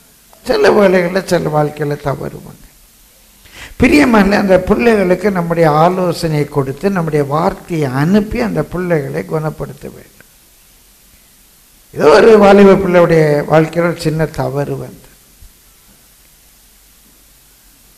ஒருவேளை அந்த பிள்ளைக்கு அரவணைப்பா பெற்றோர் ஒரு நல்ல பேக்ரவுண்ட் இல்லை. அதனால இந்தியில் சொல்லுவாங்க ஆனே வாலே ஜானே வாலே வர்றது போகிறது எல்லாம் அதுக்கு ஆலோசனை சொல்லி பெரியம்மான்ல தலையில் பார்த்தா தாளம்பு உள்ள திறந்து பார்த்தா ஈரும் பேனும்பாங்க இவங்களுடைய பின் வாழ்க்கை இவங்களுடைய குடும்பம் இவங்கிற பேக்ரவுண்டெல்லாம் பார்த்தா பயங்கர ஈரும் பேனும். இதெல்லாம் வச்சு அந்த பிள்ளைக்கு ஆலோசனை சொல்லி கொத்தி கொதறி இதில் தேவையில்லாமல் கள்ள தீர்க்க தரிசனங்களெல்லாம் சொல்லி. பிரியமானவர்களே இவள் தங்களுடைய வார்த்தையை அனுப்பி அந்த பிள்ளையை விரட்டி விட்டாங்க. அந்த பிள்ளை ஒரு சாட்சி சொல்லிச்சு நாங்கள் வருமுன்னால எனக்கு தற்கொலை ஆவி இருந்தது. ஆண்டவருங்க கொண்டு வந்த பிறகு எனக்கு அந்த தற்கொலை ஆவியிலிருந்து விடுதலை கொடுத்துட்டாருன்னு சாட்சி சொல்லுது. அதை கேட்டு கேட்டு நாங்கள் மகிழ்ந்தோம். இப்படி இந்த ஊழியத்தின் நிமித்தமாக ஒரு பிள்ளை கைவிடப்பட்ட பிள்ளை ஒரு குறைவுள்ள பிள்ளை. அந்த பிள்ளைக்கு இவ்வளோ நன்மை கிடைத்ததே என்று மகிழ்ந்தோ. பிரியமானவர்களே நிறைய பேர் தங்களுடைய வார்த்தைகளை அனுப்பி கொத்தி கொதறி அதை ஒரு மோசமான பிள்ளையை சித்தரித்து விரட்டி விட்டார் இன்றைக்கு அதே தற்கொலை ஆவி அந்த பிள்ளையை அலக்களிக்கிறது இந்த இரத்த பலிக்கு யார் காரணம்? இந்த இரத்த பலிக்கு யார் காரணம்? யோசித்து பாருங்க. உங்க வார்த்தை உருவாக்குகிறதா? உங்க வார்த்தை அழிக்கிறதா? இங்க வேதத்தில் வாசிக்கிற அவர் தம்முடைய வார்த்தையை அனுப்பி அவர்களை குணமாக்கி அவர்களை அழிவுக்கு தப்பு வைப்பார் நீ பேசுகிற வார்த்தை மற்றவர்களை குணமாக்கி அவர்களை அழிவுக்கு தப்புவிக்க வேண்டும். நீ பேசுகிற வார்த்தைகள் மற்றவர்களை சபையை விட்டு விரட்டக்கூடாது. நீ பேசுகிற வார்த்தைகள் மற்றவர்கள் தூக்கு தற்கொலை செய்வதற்கு தூண்டக்கூடாது. நீ பேசுகிற வார்த்தைகள் மற்றவர்களை அழிவுக்கு நடத்திவிடக்கூடாது பிரியமானவர்களே ஆலோசனை சொல்லுகள் பெருகினால் ஆசீர்வாதம் பெருகும். ஆனால் ஆலோசனை சொல்லுகிறோம் என்ற நிலையிலே அபத்தத்தை உணரக்கூடாது. எல்லாருக்குள்ளும் எல்லா வரமும் கிரியை செய்யாது. எனக்கு என்ன வரம் இருக்கு என்று பார்க்க வேண்டும். நான் எப்படி சபைக்கு ஆசீர்வாதமாக இருக்க வேண்டும்? எப்படி என் மூலமாக அநேகர் சபைக்கு வர வேண்டும்? கிறிஸ்துவுக்குள்ளே வர வேண்டும் என்று ஆராய்ந்து பார்க்க வேண்டும். பிரியமானவர்களே நம்ம சபையில் உள்ள சம்பவங்களை நான் சொல்கிறேன் ஒரு தம்பி ஊழியத்தில் ரொம்ப உதவியாக இருந்தார். சிலருக்கு திடீர்னு அந்த அந்த தம்பி மேலே பாசம் ஆயிடுச்சு. இந்த தம்பிக்கு போய் ஆலோசனை சொன்னாங்க. ஏய் நீ இங்கே வேலை பார்த்தனா உருப்பட மாட்டடா. இங்கே வேலை பார்த்தனா உனக்கு வளர்ச்சியே இருக்காதுடா. நீ போய் வேற ஏதாவது ஒரு பெட்ரோல் பங்கில் போய் அது பெட்ரோல் போடுறான்னு சொல்லி அந்த தம்பிக்கு ஆலோசனை கொடுத்து அந்த தம்பியை இங்கேருந்து ரொம்ப பிரயாசப்பட்டு அவருடைய வாழ்க்கையில் அவர் முன்னேறட்டும்னு பிரித்து எடுத்துட்டாங்க. இன்றைக்கு அந்த தம்பி குடிச்சிட்டு தெருவில் விழுந்து கிடக்கிறான். இந்த ஆலோசனை சரி எந்த ஒரு பிரகஸ்பதியாவது இன்றைக்கு இந்த தம்பியை கிறிஸ்துவுக்குள்ளே கொண்டு வர முயற்சி எடுக்கிறாள் என்றால் எனக்கு தெரிந்து இல்லை. கெடுக்கிற வரைக்கும் மட்டும் அவங்க ஆலோசனை இருந்துச்சு. அப்போ அவங்களுக்குள்ளாக அந்த பிசாசின் கிரியை நிறைவேற்றின பிறகு ஒரு சமாதானம் வந்துடுச்சு. அன்றைக்கு இந்த பிள்ளைக்கு ஆலோசனை சொன்னவர்கள் இன்றைக்கு காணவில்லை. எதுக்கு சொல்கிறேன் நம்முடைய வார்த்தைகளை குறித்து ஜாக்கிரதையாக இருக்கணும். வெறும் சபையில் மாத்திரமல்ல உங்கள் உறவுகள் மத்தியில் நீங்கள் பணி செய்கிற தளங்களில் நீங்கள் சொல்லுகிற வார்த்தைகள் மற்றவர்களை அழித்து விடக்கூடாது. இன்றைக்கு ஒருவேளை காலத்தை பார்ப்போமானால் ஊழியக்காரனாக மாறி இருக்க வேண்டிய ஒருவன் அவன் திருச்சபையில் பணி செய்யக்கூடாதபடிக்கு ஆலோசனை சொல்லி கெடுத்தவர்கள் அவர்கள் மூலமாக பிசாசை நிறைவேற்றின ஒரே ஒரு காரியம் அந்த ஆத்மா குடிகாரனாக மாறியது. பிரியமானவர்களை யாரையும் குற்றப்படுத்தி சொல்லவில்லை நான். ஒருவேளை இந்த வார்த்தையில் குற்றப்படுத்துமானால் ஏற்றுக்கொள்ளட்டும். ஆனால் சாராம்சம் ஒன்றுதான் நம்முடைய வார்த்தைகள் ஹீல் பண்ணுதா? நம்முடைய வார்த்தைகள் ஊண்டு பண்ணுதா? சில வேலைகளை நம்ம வந்து இடிப்போம். இடித்து பேசுவோம். எதற்காக? அவர்கள் அழிந்து போக வேண்டும் என்றல்ல கட்டப்படுவதற்காக. சில வேளைகளில் ஒரு சர்ஜரி தேவைப்படும். அது அந்த ஆளை கொல்லுவதற்காக எப்படியாக அந்த உயிரை காப்பாற்றுவதற்காக அந்த உயிரை காப்பாற்றுவதற்காக. பிரியமானுள்ள கத்துடைய பரிசுத்த நாமத்துக்கு நம்முடைய வார்த்தைகளை குறித்து நான் ரொம்ப கவனமாக இருக்கணும். இன்றைக்கு ஆராதனைக்கு வரும் முன்னால் இந்த மெடிசனை பற்றி யோசிச்சுட்டு இருக்கும்போது ஒரு சிஸ்டர் வந்து சொன்னாங்க. தவறான மருந்து கொடுத்ததுனால அவங்களுடைய உடம்பு பயங்கரமாக மரணத்துக்கு எதுவாக பாதிக்கப்பட்டு எப்படியோ ஒரு சரியான மருந்து கிடைச்சனால இன்றைக்கு அவங்க தப்பி பிழைத்த ஆராதனைக்கு வந்திருக்கிறாங்க. அப்போ நம்ம கொடுக்குற மருந்து தவறாக இருக்குமானால் நம்ம கொடுக்குற ஆலோசனை தவறாக இருக்குமானால் டாக்டர் கொடுக்குற மருந்து தவறாக இருக்குதோ இல்லையோ? நம்ம கொடுக்குற ஆலோசனை தவறாக இருக்குமானால் அந்த ஆள் அழிந்து போய்விடும். அந்த குடும்பமே அழிந்து போய்விடும். இது ரொம்ப ஆபத்தான ஒரு காரியம். அதனால் எல்லாரும் ஆலோசனை சொல்லாது எல்லாரும் மற்றவங்களுடைய பிரச்சனையில் மூக்க நுழைக்காதீங்க. உங்களால் ஒரு குடும்பம் அழிந்து போகக்கூடாது. உங்களால் ஒருவருடைய ஊழியம் கெட்டு போகக்கூடாது. திருச்சபையில் பணியாற்றுகிறவரும் உங்களால் நாசமாய் போகக்கூடாது. அப்படியானால் அந்த இரத்த பழிக்கு நீங்கள் தப்ப முடியாது. அவனுடைய தவறை கர்த்தர் அவனிடத்தில் கேட்பார். அதற்கு யார் காரணமாக இருந்தார்களோ அவர்கள் தப்பி போக மாட்டார்கள். இது ஒரு சத்தியம் பிரியமானவர் உங்கள் மேலுள்ள அன்பினாலே நீங்கள் இரத்தப்பழிக்கு உள்ளாக கூடாது என்பதனாலே நான் சொல்லுகிறேன். பிரியமானுள்ள யாராவது ஒரு ஃபஸ்ட் என்னை பற்றி தான் பேசுகிறார் அப்படின்னு நீங்கள் நினச்சிங்கன்னா அன்பாய் தாழ்மையாக சொல்கிறேன் உங்களை பற்றி தான் பேசுகிறேன் யார் யாரெல்லாம் அப்படி நினைக்கிறீங்களோ அவங்கள பற்றி தான் நான் பேசுகிறேன் நான் குறிப்பாக யாரையும் நினச்சி பேசல இந்த சம்பவங்களை நான் சொல்கிறேன் இது என்னை பற்றி தான் பாஸ்டர் பேசுகிறாரு அப்படின்னு நீங்கள் நினச்சிங்கன்னா அன்பாக நான் ஒத்துக்கிறேன் உங்களை பற்றி தான் பேசுகிறேன் நீங்கள் ஆசீர்வாதமாக இருக்கணும் நீங்களே மற்றவர்களுக்கு சாபமாய் போய்விடக்கூடாது என்ற ஒரு நல்ல எண்ணத்திலே நான் பேசுகிறேன் என்று எடுத்துக்கொள்ளேன் பிரியமானே நம்முடைய வார்த்தைகளில் ஹீலிங் இருக்கும். அதனால தான் நம்ம வாசிக்கிறோம் யாக்கோபு ஐந்தாம் அதிகாரம் பதினைந்தாம் வசனம் யாக்கோபு ஐந்தாம் அதிகாரம் பதினைந்தாம் வசனம். அப்பொழுது விசுவாசமுள்ள ஜெபம் பிணியாளியை விடுவிக்கும் ரட்சிக்கும். விசுவாசமுள்ள ஜெபம் வெறும் ஜெபம் அல்ல. உங்க வார்த்தை விசுவாசம் எதில் வெளிப்படுது? வார்த்தையில் நீங்கள் ஜெபிக்கிறீங்க. உங்க உள்ளத்தில் அந்த விசுவாசம் இருக்கு. விசுவாசமான வார்த்தைகளை சொல்லி ஜெபிக்கிறீங்க. உங்கள் வார்த்தைகள் அவங்கள பலப்படுத்த பாஸ்டர் சாம்சுந்தர் ஐயா அடிக்கடி வேடிக்கை ஒரு உதாரணம் சொல்லுவார். ஒருத்தன் ஒரு நோயாளியை பார்க்க போயிருந்தான். நம்மால் ஒருத்தன் வச்சுக்கோங்களேன். ஒருத்தன் ஒருத்தி இப்போ ஆம்பளைங்க சண்டைக்கு வராதீங்க. ஒரு ஆள் ஒரு நோயாளியை பார்க்க போயிருந்தாங்களாம். ரெண்டு நாளாக படுத்திருக்கிறாரு. போனவங்க ஜெபிக்க போயிருக்காங்க சிஸ்டர் இந்த சிஸ்டர் ஜெபிக்க போயிருக்கிறாங்க. போனோடனே பார்த்து கேட்டாங்களா உங்களுக்கு என்ன செய்யுது நான் சொல்லணுன்னு கேட்டாங்களா உனக்கு என்ன செய்யுதுன்னு இருமல் ரெண்டு நாளாக இருமல். ரெண்டு நாளாக இருக்கா?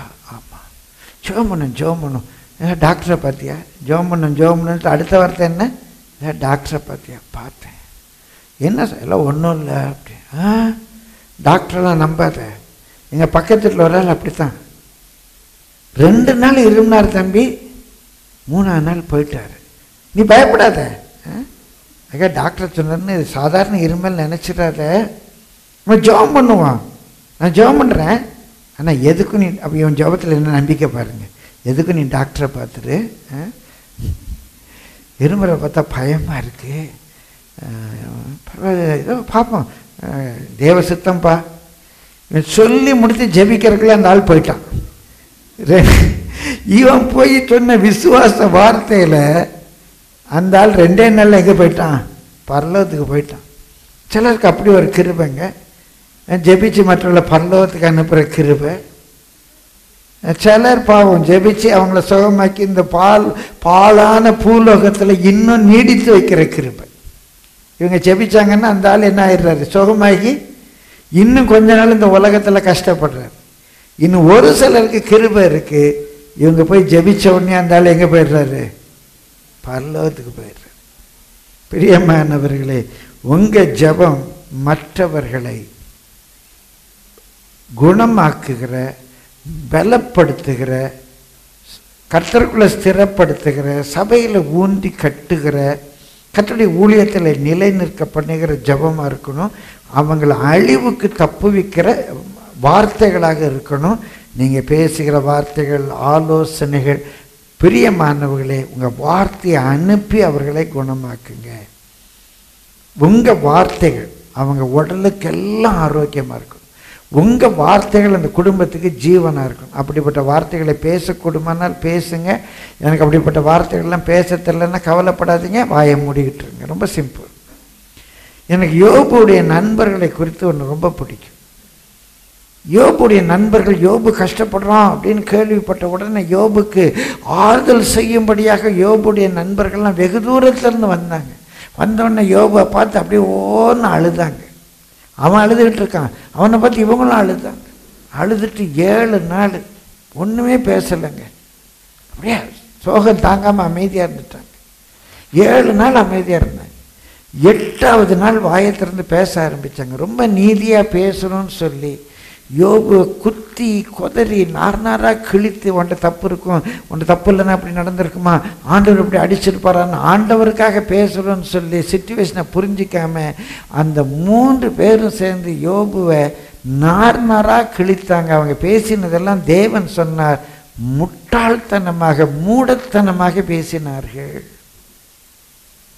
அவங்க ஆர்கியூமெண்ட் என்னமோ தேவனுக்காக பேசுகிறோன்னு சொல்லி பேசுனாங்க. பேசின எல்லாம் தேவனுடைய பார்வையில் மூடத்தனமாக இருந்தது. அந்த நண்பர்கள் செய்த மூன்று பேர் செய்த ஒரே ஒரு நல்ல காரியம் என்ன தெரியுமா? நான் அடிக்கடி யோசிப்பேன். அந்த ஏழு நாள் வாயை மூடிட்டு இருந்தாங்க பாருங்கள் அது ஒன்று தாங்க அவங்க செஞ்ச நல்ல காரியம். உங்கள் ஃப்ரெண்டுக்கு உங்களால் ஒரு நல்ல காரியம் செய்ய முடியுமான்னா கொஞ்சம் வாயை மூடிட்டுருங்க அது நீங்கள் உங்கள் ஃப்ரெண்டுக்கு செய்கிற ஒரு நல்ல காரியம். அவனை குத்தி கொதறி கிழித்து நார் நாராக்கி நல்ல வேலை யோபு தப்பிச்சான். நம்ம ஆட்கள் நீங்கள் குத்தி கிழிக்கிறதுல துண்டை கண்ணு துணியை கண்ணு சபையை விட்டு ஓடி போயிடுறான் கடவுளை விட்டு ஓடி போயிடுறான். நீங்கள் பேசின பிறகு ஆலோசனை சொன்ன பிறகு நான் தற்கொலை பண்ண போகிறேங்க நீங்களும் என்ன சொல்லிடுறீங்க? பைபிள்லேருந்து வசனம் சொல்கிறேன் செய்கிறதே சீக்கிரமாக செய்யுன்னு சொல்லிடுறீங்க. சொல்லி கொடுக்குறீங்க. செய்கிறத சீக்கிரமாக போய் செய்யுப்பா. பிரியமானவர்களே கர்த்தருடைய பரிசுத்த நாமத்துக்கு மகிமை உண்டாகுது அதனால் நம்முடைய ஆலோசனை மற்றவர்களை பலப்படுத்தணும். நீங்கள் எல்லாம் கருத்தருக்கு ஊழியம் செய்யுங்க. புத்தி சொல்லுகிறவர்கள் புத்தி சொல்கிறதில் தரித்திருங்க. உங்கள் வார்த்தைகள் ஹீலிங்கை கொண்டு வரணும். அவர் தம்முடைய வார்த்தையை அனுப்பி அவர்களை குணமாக்கி அழிவுக்கு தப்புவித்தார். உங்களுடைய ஆலோசனைகள் மற்றவர்களை குணமாக்கி அவர்களே அந்த குடும்பத்தை அந்த கணவன் மனைவி உறவை அந்த பெற்றோர் பிள்ளைகள் உறவை அண்ணன் தம்பி உறவை அழிவுக்கு தப்புவிக்க வேண்டும். நீங்கள் பேசுகிற வார்த்தையே அண்ணன் தம்பி உறவு முறிந்து போகக்கூடாது. சொல்லிக்கொண்டே போகலாம். பிரியமானே இப்படி பேச தெரியாவிட்டால் தயவு செய்து வாயை மூடிக்கொண்டிருங்க. பிரேஸ்லாட் சிஸ்டர் பிரேஸ்லாட் பிரதர் தேவர் உங்களை ஆசீர்வதிப்பாராக. உங்களுக்கு சமாதானம் உண்டாவதாக. ஷாலோம் அலைக்கும் அப்படின்னு சொல்லிட்டு போயிட்டே இருங்க. அவங்களுக்கு சமாதானமாவது உண்டாகும். உங்கள் வாயின் வார்த்தையின்படி. சரி நேரம் ஆயிடுச்சு குறி மூன்றாவது குறிப்புக்குள்ளே போகிற உங்களுடைய வார்த்தைகள் சுவையாக இனியவையாக இருக்க வேண்டும். நீதிமொழிகள் முப்பத்தி ஒன்று இருபத்தாறில் எப்படியாக வாசிக்கிறோம்? நீதிமொழிகள் முப்பத்தி ஒன்று இருபத்தி ஆறு. வாயை. ஞானம் விளங்க திறக்கிறாள் நான் தன் வாயை அந்த குணசாலியான ஸ்திரீ. ஞானம் விளங்க திறக்கிறாள். தயையுள்ள போதகம் அவள் நாவின் மேல் இருக்கிறது. தயையுள்ள போதகம் அவள் நாவின் மேல் இருக்கிறாள் நல்ல ஞானம் விளங்க வாயை திறக்க. நல்ல ஒரு தயை உள்ள போதகம் ஒரு கைண்ட்னஸ் ஞானம் இருக்கு தயவும் இருக்கு. ஞானமாகவும் சொல்லணும் கைண்டாகவும் சொல்ல தெரியும் நல்ல டேஸ்ட் இருக்கும். தேனுடைய ஒரு இனிமை பாலுடைய ஒரு சுவை தேனும் பாலும். பிரியமானவர்களே இந்த பாலும் தேனும் கலந்து வருகிறது என்று சொன்னால் நல்ல சுவை. இந்த இனிய சுவையை குறித்து நம்ம ஜாக்கிரதையாக இருக்கும் சர்க்கரைக்கு குறிப்பாக வெள்ளைச்சீன் சர்க்கரை சீனிக்கு ஒரு இனிய சுவை உண்டு. ஆனால் சீனியில் இருக்கிற இனிய சுவை முழுவதும் நம்முடைய உடம்புக்கு கெடுதி. சீனி ரொம்ப இனிப்பார் ஆனால் சீனி என்று சொல்லுகிற அந்த வெள்ளை சர்க்கரை எல்லாருடைய உடம்புக்கும் கெடுது இதை கேட்க நீங்கள் எல்லாருமே அதை ஒரு விஷமாக கருதி விலக்கி வைத்து விட்டாலும் நல்லது. அதில் ஒரு இனிப்பு இருக்கு. அந்த இனிப்பு முழுவதும் நம்முடைய உடம்புக்கு கெடுதலை தரக்கூடிய ரசாயனம். அதை விலக்கி சொல்ல நேரமில்லை. அந்த இனிப்பு நம்முடைய உடம்புக்கு கெடுது தேனில் ஒரு இனிப்பு இருக்கிறது. சில தேனில் இனிப்பு இருக்கிறனால குறிப்பாக நீரழிவு நோய் டயபெட்டிஸ் இருக்கிறவங்க தேனை கண்டு கூட பயப்படுவாங்க. ஆனால் இந்திய மருத்துவத்தில் டயபெட்டிஸுக்கு தேன் ஒரு நல்ல மருந்து. ஏனென்றால் உங்களுக்கு எத்தனை பேருக்கோ தெரியுமோ தெரியவில்லை. நான் ஆங்கில ஆராதனை கேட்கும்போது ஒரு சிஸ்டர் பட்டுன்னு பதில் சொன்னாங்க. ஆங்கில ஆராதனை பங்கு பெறாதவர்கள் சொல்லுங்கள் தேனுடைய அடிப்படை சுவை என்ன? யாருக்கா தெரியுமா? ஆ? கொஞ்சம் சத்தமாக சொல்லுங்கள் துவர்ப்பு இன்னும் சொல்ல போனால் சிஸ்டர் சொன்னது ரொம்ப சரி. துவர்ப்பு என்பதை விட மருத்துவர்கள் சொல்வது தேனுடைய அடிப்படை சுவை கசப்பும் புளிப்பும் சேர்ந்தது. அதில் ஒரு கசப்பு தான் அதனுடைய அடிப்படை சுவை. பிரியமானவர்களே அதில் கொஞ்சம் புளிப்பும் இருக்கிறது என்று சொல்லுகிறார். இந்த கசப்பு அதில் இருப்பதனால தான் இந்திய மருத்துவத்தில் தேன் வந்து நீரழிவு நோய்க்கு நல்லது எடுக்க வேண்டிய விதமாக அளவாக எடுப்போமானால் அந்த முறையாக எடுப்போமானால் தேன் நீரிழிவு நோய்க்கு நல்லது என்று சொல்லுகிறார். தேனில் இருக்கிற இனிப்பு கெடுதி கிடையாது. ஆனால் வெள்ளை சர்க்கரையில் இருக்கிற இனிப்பு பயங்கர கெடுதி. அப்போ இனிப்பு என்று சொல்லுவதே கெடுதி அல்ல. பிரியமானவர்கள் சிலருடைய வாழ்க்கையில் ரொம்ப ஸ்வீட்டாக பேசுவாங்க. ரொம்ப இனிக்க இனிக்க பேசுவாங்க. ஆனால் அது சீனியில் இருக்கிற மாதிரி விஷம் செல்லும் எப்படிம்மா இருக்கிற? என்ன பண்ணுற உங்கள் மாமியாரோட எப்படிம்மா சமாளிக்கிற? ஐயோ இந்த பேயோட எப்படி தான் வாழ்றியோ? இதோட போச்சு குடும்ப ரிலேஷன்ஷிப் ஆகா இந்த இனிமேல் எப்படி இருக்குது பார்த்தீங்களா ஐயோ உங்கள் மாமியார் பற்றி ரொம்ப கேள்விப்பட்டிருக்கேன். எப்படி தான் அவளோட சமாளிக்கிறியோப்பா? ஆண்டவர் தான் உனக்கு கிருபை தர ஆடா சீனி கெடுத்துடுற பற்றியா அந்த குடும்பத்தை? என்னப்பா? எப்படி இருக்காங்க வீட்டுக்காரி? என்னப்பா? இப்போ நல்லா ஜாலியாக இருந்தார் போச்சு இதோட உன் வாழ்க்கை. சரி பரவாயில்ல ஜோம் பண்ணுவோம். இதோட போச்சுடா சீனி. உன் இனிப்பு உன் ருசி உன் இறக்கம் அந்த குடும்பத்தையே கெடுத்து கட் குட்டிச்சவராகிடும் இனிப்பாக பேசுங்க. இனிப்பு நல்லதுங்க. ஆனால் கெடுக்கிற இனிப்பு இருக்கக்கூடாது. அவங்கள உருவாக்குகிற இனிப்பு இருக்கணும். அந்த இனிப்பில் கொஞ்சம் கசப்பு இருக்கணும். வெறும் ஏமாற்றுகிற தித்திப்பு அல்ல. வெறும் வஞ்சகமான செல்வம் அல்ல. ஒரு கடிந்து கொள்வது அதோடு கூட இணைந்திருக்கும். பிரியமானவர்களே நான் ரொம்ப கண்டிப்பாக இருப்பேன் அப்படின்னு சிலருக்கு ஒரு எண்ணம். ஒரு நிமிஷம் பிந்தி வந்தால் கூட பாஸ்டர் கேட்பாரு அப்படின்னு. ஆமாம் நான் ரொம்ப ஃபேமாக இருப்பேன். ஒரு நிமிஷம் பிந்தி வந்தாலும் ஒன்று தான் பத்து நிமிஷம் பிந்தி வந்தாலும் ஒன்று தான் பிந்தி வர்றது பிந்தி வர்றது தான் அப்படிங்கிறது என்னுடைய கொள்கை. ஒரு நிமிஷம் தானே பிந்தி வந்தோங்கிறதால பிந்தி வர்றது தவறு அப்படின்னு நான் நினைக்கிறேன். பிரியமானவர்களே ஒருவேளை என்னோடு கூட பணி செய்கிறவர்கள் உதவி செய்கிறவர்கள் தன்னார்வ தொண்டர்கள் ரொம்ப ஸ்ட்ரிக்டாக இருப்பேன். ஆனால் என்னுடைய அந்த கசப்போடு கூட சேர்ந்து அவர்களோடு கூட பேசுவேன். அவருடைய சுக துக்கங்களில் கலந்து கொள்வேன். அவங்களோடு ஒன்றாயிருந்து சிரிப்பேன். அவர்களில் ஒருவனாகவே நடந்து கொள்வேன். அந்த அன்பு காட்டுவதில் குறையாது. உங்களுடைய இனிப்பில் ஒரு ஹீலிங் இருக்கணும். கடினமாக நீங்கள் நடக்கணும்னு நான் சொல்லலை. உறுதியாக இருக்க தெரியணும். உங்களுடைய டேஸ்ட் அவங்கள பலப்படுத்துகிற அவங்கள சுகமாக்குற அதே வழியில் ஒரு இனிமை சேர்ந்ததாக இருக்க வேண்டும். வெறும் வாழ்க்கை முழுவதும் கசப்பாக இருக்க வேண்டும் இல்லை கசப்பும் ஒரு நல்ல சுவை தான் பிரியமானவர்களே உடம்பை உடலை கெடுக்கிற இனிப்பு வேறு. அவங்க ரொம்ப மருத்துவத்துக்குள்ளே போக நான் விரும்பலை. உடம்பை ஆரோக்கியமாக்குகிற இனிப்பு வேறு. அறுசுவைகள் ஒரு நல்ல சுவை இனிப்பு. இனிப்பு என்பதே கடுதியல். ஆனால் உடம்பை கெடுக்கக்கூடிய இனிப்பும் இருக்கு. அதே போல் நம்முடைய வாழ்க்கையில் நம்ம காட்டுகிற இந்த அன்பு பரிவு இந்த டேஸ்ட் மற்றவர்களை உருவாக்குகிற டேஸ்டாக இருக்க வேண்டும். பிரியமானவர்களே வாசியங்கள் நீதிமொழிகள் இருபத்தி நான்கு பதிமூன்று. என் மகனே தேனை சாப்பிடு. தேனை சாப்பிடு. அப்படியானா என் ஆலோசனை கேளு. என் வார்த்தையை கேளு. என் வசனத்தை கேளு. என் வசனம் தேன் போல இருக்கிறது. ஒருவேளை அது சர்க்கரை வெள்ளை சர்க்கரை போல இனிக்காது. சில பிள்ளைகளுக்கு தேன் அதுவும் மலை தேன் வேப்பம் தேன் பிடிக்கவே பிடிக்காது. ஒரு முறை என்னோட கூட வந்த ரெண்டு தம்பிமார் எனக்கு இந்த பதநீர் பனநீர்னால் ரொம்ப பிடிக்கும். எனக்கு ரொம்ப பதநீர் பிடிக்குதுன்னு சொல்லி அவங்களுக்கு பனிநீரை வாங்கி கொடுத்தேன். வாங்கி கொடுத்தவங்க வெளியே போய் துப்பிட்டு மீதி இருந்ததை கொட்டிட்டாங்க.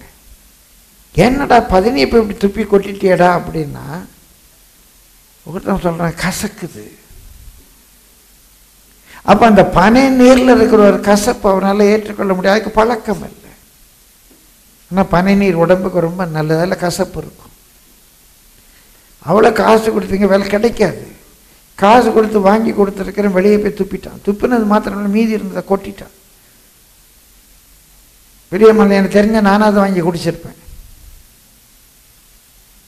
அப்போ இங்கே நான் பார்க்குறோம் தேனை சாப்பிடு. என் வார்த்தையை கேடு இல்லை கொஞ்சம் கசப்பு இருக்கும். தேனை சாப்பிடு அது நல்லதுப்பா. இந்த வார்த்தையை கேளு அது நல்லது. இந்த ஆலோசனையை கேளு அது நல்லது.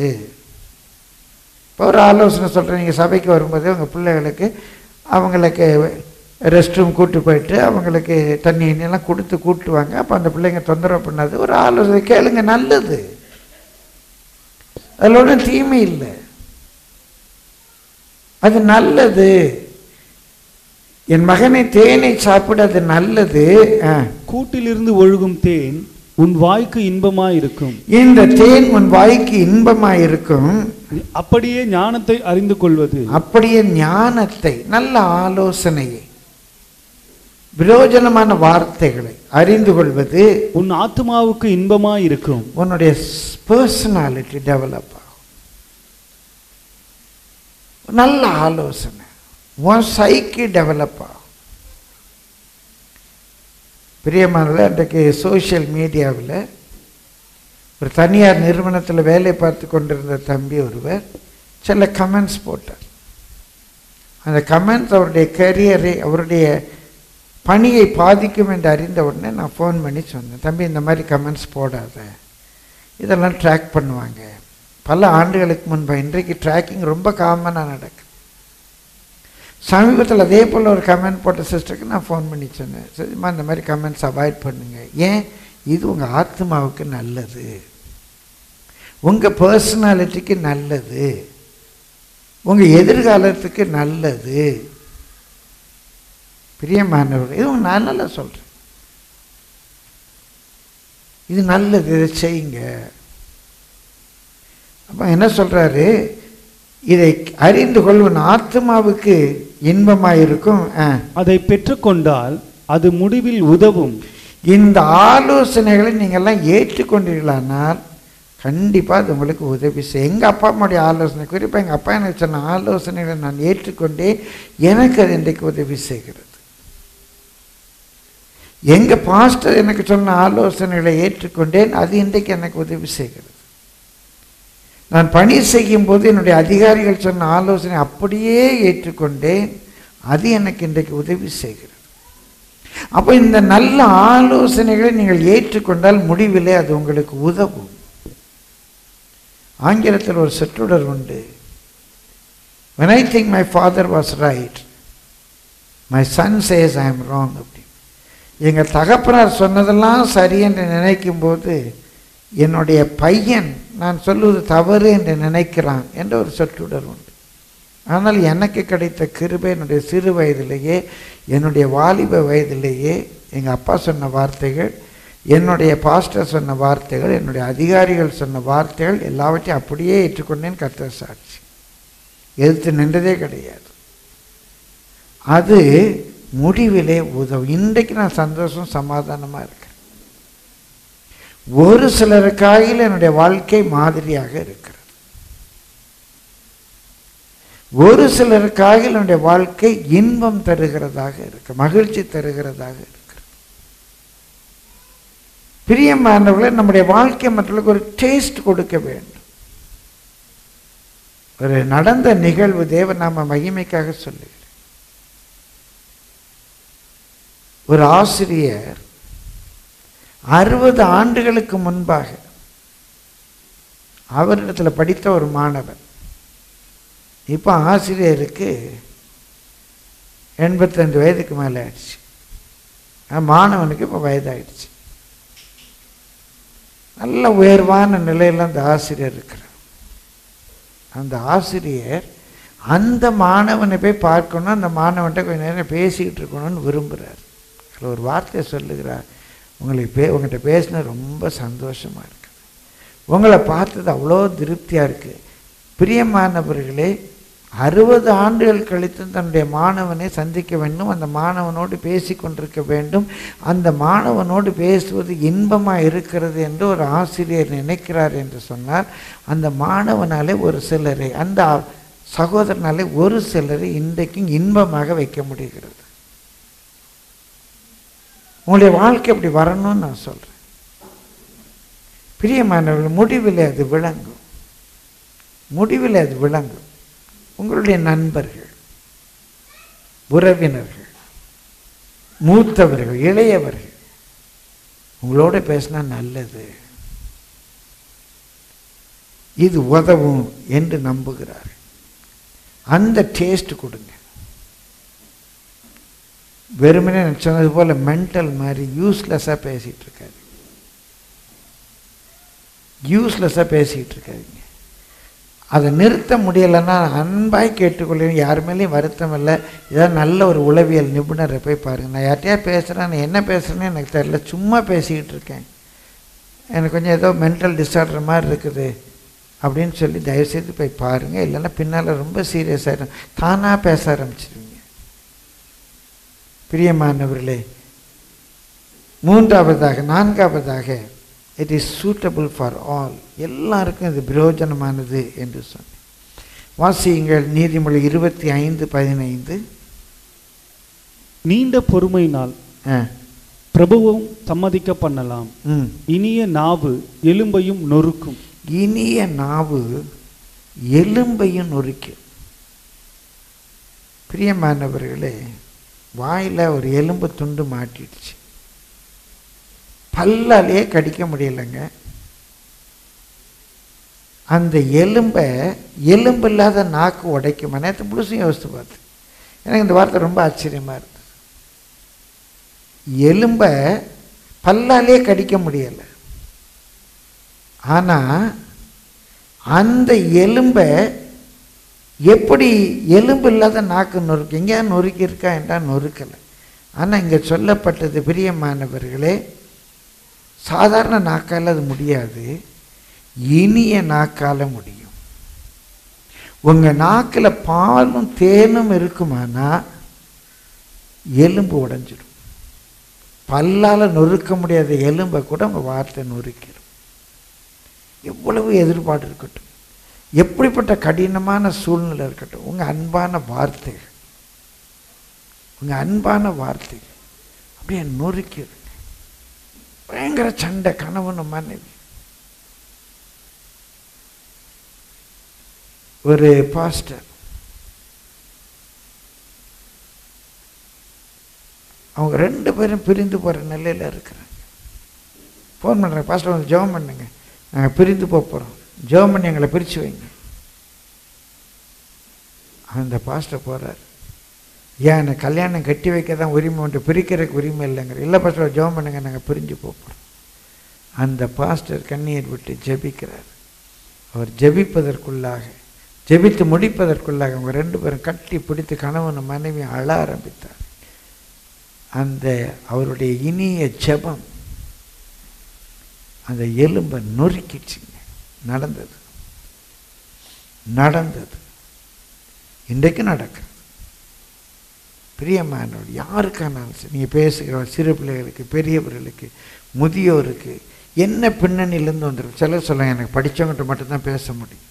சிலர் சொல்லுவாங்க என்கிட்ட வந்து இளைஞங்கிட்ட மட்டும்தான் பேச முடியும். இல்லை பிரியமானவர் நம்ம சபையை போன்ற சபைகளில் பாருங்கள் படித்தவர்கள் உண்டு எழுத படிக்க தெரியாதவர்கள் உண்டு ஓரளவு பணக்காரர்கள் உண்டு ஏழ்மையில் உள்ளவர்கள் உண்டு. ஆண்கள் உண்டு பெண்கள் உண்டு முதியோர் உண்டு சிறியோர் உண்டு. எல்லாருக்கும் கர்த்தருடைய வார்த்தையை கொடுக்குறோம். எல்லாருக்காகவும் ஜெபிக்கிறோம். எல்லாரோடையும் அன்பாக இருக்கிறோம். பிரியமலை இன மத பொருளாதார எந்த வேறுபாடும் இல்லாமல் ஒரே சபையாக இருக்கிறோம். இப்படி அநேக சபைகள் உண்டு. அந்த சபைகளில் நம்முடைய சபை ஒரு சபை என்று பெருமையாக சொல்ல முடியும். நம்முடைய வார்த்தைகள் எல்லாருக்கும் ஏற்ற இனிய வார்த்தைகளாக இருக்கும். படித்தவர்களுக்கும் ஆலோசனை சொல்ல தெரியும். பாமர மக்களுக்கும் ஆலோசனை சொல்ல தெரியும். செலவெல்லாம் யோசிப்பு இவங்க பின்னணி எப்படிப்பட்ட பின்னணி? இந்த பின்னணியிலேருந்து வந்திருக்கிறாங்க. இவங்களுடைய கலாச்சார பின்னணி இவங்களுடைய கல்வி பின்னணி இவங்களுடைய பொருளாதார பின்னணி இந்த பின்னணியிலிருந்து கத்திரவங்களை கொண்டு வந்திருக்கிறார். இவங்களுக்கு நம்முடைய வார்த்தைகள் பிரயோஜனமாக இருக்கணும். நம்ம கொடுக்குற வார்த்தைகள் எந்த எலும்பையும் நொறுக்கக்கூடிய வார்த்தைகளாக எந்த எலும்பையும் பிரியமானவர்களை சந்திக்கக்கூடிய வார்த்தைகளாக எந்த கடினமான உள்ளத்தையும் நொறுக்கக்கூடிய வார்த்தைகளாக அமைய வேண்டும். கடைசியாக வந்து சொல்லி நான் முடிக்கிறேன். பிரியமல் நேரம் கருதி நேரடியாக போகிறேன். அது பதமிடப்பட்ட பதனிடப்பட்ட ஒன்று என்று சொன்னேன். உங்களுக்கு எத்தனை பேர் தெரியுமா? நான் சொல்கிற கேட்டு பயந்துடாதீங்க. தேன் அப்படின்னு சொல்கிறது என்னென்னா பூவிலேருந்து வருகிற ஒன்று தான் ஆனால் பூவில் இருக்கிற அந்த மதுரம் தேன் அல்ல. அந்த மதுவுக்கு ஆங்கிலத்தில் நெக்டார் என்று சொல்லுவார்கள். நெக்டார் நம்முடைய உடம்புக்கு கெடுதி. சின்ன பிள்ளைகள்லாம் விளையாட்டில் பூவில் இருக்கிற தேனை உறிஞ்சி உறிஞ்சி சாப்பிடுவாங்க. பூனில் பூவில் இருக்கிற தேன் வந்து நெக்டார் அது நம்முடைய உடம்புக்கு கெடுதி. இந்த நெக்டாரை தேனி உரிந்து இந்த மதுவை தேனி உரிந்து பிரியமானவர்களே அந்த நெக்டார் அந்த தேனியுடைய உடம்புக்குள்ளே ஜீரணித்து அந்த மதுவை தேனி வாந்தி பண்ணுகிறது அந்த வாந்தி பண்ணுகிறதுக்கு பேர் தான். தேன் ஐய இது தேனியுடைய வாந்தியா அப்படின்னு நினச்சி பயந்துடாதீங்க. ஆனால் தேன் வெறும் பூவில் உள்ள மதுரம் நமக்கு நல்லதல்ல. அந்த நல்லதல்லாததை அதை எடுத்துக்கொண்டு இயற்கையினுடைய படைப்பு அந்த தேனை நமக்காக சேர்த்து வைக்கிறது. தேனி தேன் சாப்பிடாது. தேனி தேன் சாப்பிடாது. தேனி சாப்பிடுறதெல்லாம் நெக்டார் நெக்டாரில் உள்ள விஷத்தன்மை அதை எடுத்துக்கொள்ளுகிறது நல்ல தேனை தேன் கூட்டிலே நமக்காக தேனி சேர்த்து வைக்கிறது. அதுக்கு அதில் வேறு எந்த உதவும் கிடையாது பிரயோஜனம் கிடையாது. அப்போ தேன் என்று சொல்லுவது ஒரு தேனியுடைய வாந்தி. அதே போல் பால் என்று சொல்லுவது அது சைவ உணவு கிடையாது. அசைவத்திலே கொடூரமான அசைவம் உண்டானால் பால் தான் இன்றைக்கி நிறைய பேர் அசைவ உணவு சாப்பிடுறவங்க பசுவை வெட்டக்கூடாது என்று சொல்லுகிறவங்களாம் சிலருக்கு தெரியாது சிலர் தெரிந்தும் கண்டுகொள்வதில்லை. ஒரு மறித்து போன ஒரு மிருகத்தினுடைய மாம்சத்தை சாப்பிடுவது தவறு என்று சொன்னால் உயிரோடு இருக்கிற அந்த மிருகத்தின் இரத்தத்தை கறந்து பிரியமானவர்களே வெறும் ரத்தம்னா கூட திரும்ப இன்ஜெக்ட் பண்ணலாம். கறந்த பால் மடி புகாது. திரும்ப நீங்கள் மாட்டுக்கு பால் கொடுக்க முடியாது. அந்த மாட்டுடைய இரத்தத்தை அந்த தாய் பசுவுடைய இரத்தத்தை தன்னுடைய கன்றுக்காக பாலாக வைத்திருக்கிற அந்த ஒரு மிருகத்தினுடைய இரத்தத்தை கள்ளத்தனமாக நாம் கறந்து நம்ம சாப்பிட்றோம். இப்போ இது வந்து பசுவதையாக இல்லையான்னு நீங்கள் யோசித்துக்கோங்க. பால் வந்து அசை ரத்தம் மாட்டுடைய ரத்தத்தை குடிப்பதோட பாலை குடிப்பது இன்னொரு ப்ராசஸ்ட் ஆனால் கவனிங்க இந்த ரெண்டுமே ப்ராசஸ்ட் ஃபுட் மாடு போய் புல்லை திங்குது. இந்த புல்லை தின்ற பிறகு அந்த புல்லில் உள்ள புரோட்டீன் என்னமோ சொல்கிறாங்கல்ல எல்லாத்தையும் பிரித்து எடுக்குது. அதில் புல்லில் ஒரு தன்மை அதனுடைய ரத்தத்துக்கு போகுது. குறிப்பாக அருகம்புல். நல்ல பால் சுரக்க பண்ணும் பருத்தி கொட்டை நல்ல பால் சுரக்க பண்ணும் இப்போ அது ரத்தத்தோட கலந்து அந்த தாய் பசு அது கண்டு இருந்தால் தான் பால் வரும். அந்த தாய் பசு பாலை தருகிறது. பிரியமானவர்களே நம்ம மாம்சம் சாப்பிடும்போது எல்லாமே ப்ராசஸ்ட் ஃபுட்டாக சாப்பிடும் ஆடு புல் திங்குது. புல் மேயுது. அந்த புல்லில் உள்ள சத்துக்களை ஆடு தன் சரத்தில் பிரிக்குது. புரோட்டீனாக ஃபேட்டாக பிரதான சத்தாக கொழுப்பாகலாம் பிரிக்குது.